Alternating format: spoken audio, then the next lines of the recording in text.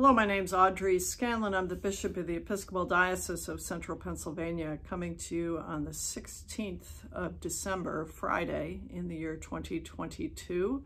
Making this video, of course, on Thursday, on a day in which I have not honestly moved from this chair in my living room. And so I thought that I would just, instead of trying to find a novel place to make my video from, I would just stay put and um, speak to you from the place where I have done probably four different Zoom meetings today, typed about 30 emails, and worked on a number of different projects. It's been a, a long day, a day in which I was supposed to be up in Mansfield in our northern tier, and also in Williamsport, uh, meeting with clergy groups in both of those places, but the weather had different ideas, and so I stayed put at home and have had actually a pretty productive day uh, as it's been sleety and icy and a little bit of snow out there.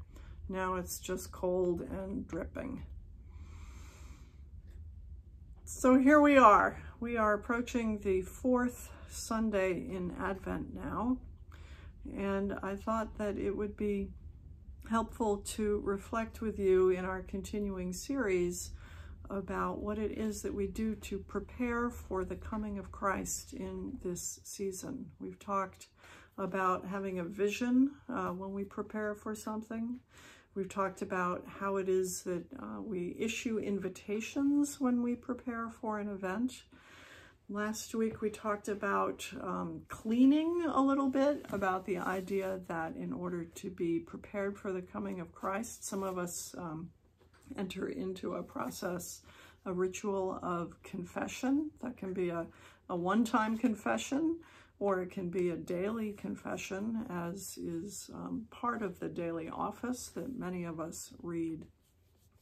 And today I thought it would be helpful to talk about just some of the the hustle and the bustle that we undertake in this season and, and reflect on that a little bit. So many of us are uh, moved to engage in holiday shopping because we want to give gifts to people whom we love and it's a way to show our appreciation, often for service that we receive through the course of a year. So whether it's an employee that we are honoring with a gift or a uh, mail carrier or um, maybe the, the person who, who mows your lawn. There's lots of ways that we show our appreciation at this time of year uh, by, by reaching out and offering gifts. There are many of us who like to give gifts in the form of um, cookies, or I, I make a giant, giant batch of granola on this past Monday. I spent two hours just making granola in our house, and I think I used about 18 cups of oatmeal, plus lots and lots of nuts and fruit and seasonings. So I'll be bagging that up and giving that as gifts this year. Um, I've made my fair share of cookies also. We have our family favorites that we take out to our kids uh, in California. Um, and then there's the process of decorating. There are holiday parties. There are always concerts. I went to a beautiful Advent program at our cathedral last night, St. Stephen's Episcopal um, Cathedral School. Uh, put on a, a, presentation that was uh, lessons and carols. And I have to say that it made my heart glad to see the cathedral filled. There are about, oh, I'm going to guess about 125 students at St. Stephen's School. And there they were with their families, um, grandparents, little siblings. And so it was just wonderful to see the good news of the Christmas story being brought to, to lots and lots of people. It was a, it was a great event. There was, of course, lots of singing by the kids and, and some of the best readers I've heard in a long time. There's a lot of preparation in this season that goes on that we can't see. It might not take the shape of a cookie or a card or a holiday event, but some spiritual growth that goes on inside of us. We don't often recognize the growth that goes on inside of us because either we're too busy doing everything else to slow down and um, reflect on how we are preparing, how we are getting ready for Jesus, how God is moving in us, or we are people who are so accustomed in our incarnate way uh, to seeing things as they happen, as they literally take shape and develop in front of our eyes, that when the transformation is internal, it can be more difficult to recognize and to see and to notice. I was thinking, I have a show and tell item, I was thinking about this little project that I've been working with this Advent in our family.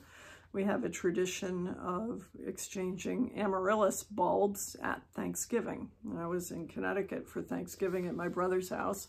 And so we all exchanged our amaryllis bulbs and then came home and planted them. And mine has taken forever, forever to take off. Usually by the time we get to Christmas, it's, it's already grown up and, and flowering. But this one, I don't know if you can see, this one has just started just in the last two or three days has started its, its growth out from the bulb. It kind of came with this much green. In the last couple of days, it's sprouted up a little bit. But for the last couple of weeks since Thanksgiving, I have planted this bulb. It has sat on my kitchen counter. I have looked at it every day I have wondered out loud and under my breath about whether anything was taking place. And then I was rewarded with this beautiful little, it's actually two, two little um, green shoots that are coming up. And I know that as the weeks progress, I guess it's just a week now, isn't it, to uh, the Christmas event, that that amaryllis will grow and that there will be a flower. There will be that beautiful blossom at the end. You may not be seeing the fruit of your spiritual devotion, your prayer, your uh, listening for God. You might not see that yet.